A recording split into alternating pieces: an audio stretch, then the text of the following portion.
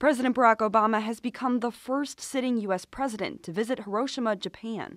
A flash of light and a wall of fire destroyed a city and demonstrated that mankind possessed the means to destroy itself.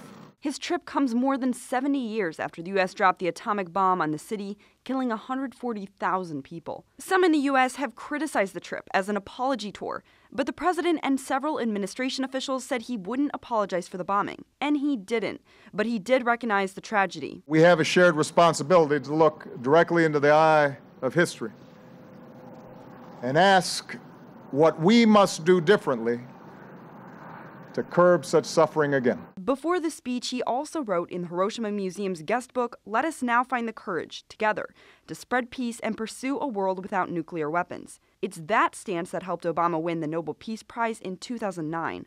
Even as we make difficult decisions about going to war, we must also think clearly about how we fight it. For Newsy, I'm Melissa Prax.